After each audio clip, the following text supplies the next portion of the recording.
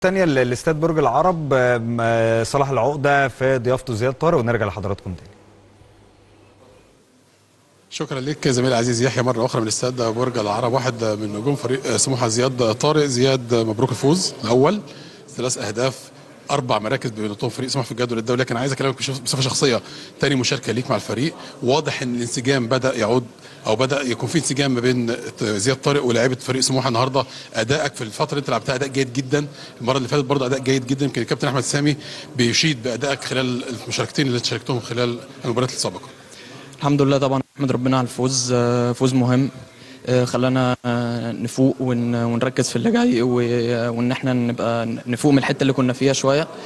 آه، الحمد لله إن أنا بدأت أشارك واحدة واحدة بدأت أخد على الفرقة بدأت آه، في التمارين بننسجم أكتر مع بعض فالحمد لله يعني. الحمد لله في اسكندرية كمان. أو في اسكندرية آه. قول يعني الحالة اللي ما بين الجهاز الفني والكيمياء اللي ما بين الكابتن أحمد سامي ونادي سموحه دي عملت لكم حالة داخل الفريق خاصة من ساعة وصول الكابتن أحمد سامي والأمور بدأت يعني مش هنقول ده كان في مشاكل قبل كده لكن في ثقة كبيرة جدا بين اللعيبة وبين الكابتن أحمد سامي في ثقة ما بين الإدارة وبين الكابتن أحمد سامي ثقة من قبل كده كان من الولاية الأولى الكابتن أحمد.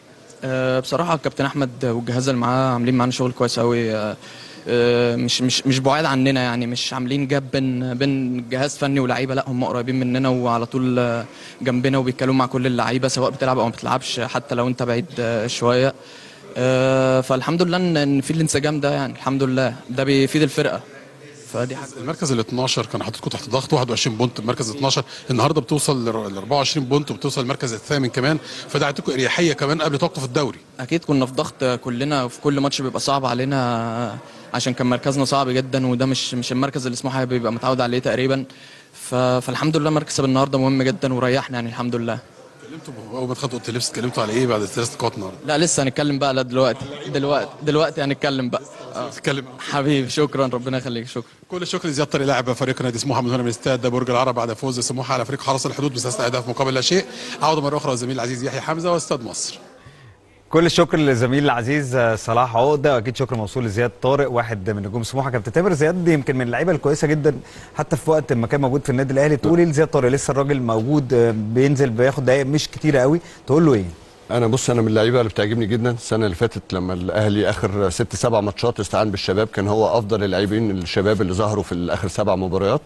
كنت مستغرب الكابتن طارق عاشي ما بيلعبوش. يمكن هو كان مقتنع بلعيبة معينة. أعتقد إن الكابتن أحمد سامي هيديله فرصة. آه، ده تاني ماتش دي ماتش إنبي لعب في الدقيقة 65 لعب أعتقد 25 دقيقة. النهارده بيلعب في الدقيقة 90 فأعتقد زياد طارق لا هيظهر في الماتشات اللي جاية. خصوصا المنافسة هتبقى كبيرة قوي بينه وبين مصطفى ميسي. لأن أنت برضو قلت لك. وجودهم هم الاثنين هيبقى ممكن يبقوا موجودين في الملعب بس وجودهم هم بيلعبوا بنفس الطريقة بنفس ال style بنفس المكان فأعتقد إنه هيبقى بديل لمصطفى ميسي في الماتشات اللي جاية. مشاهدينا لسه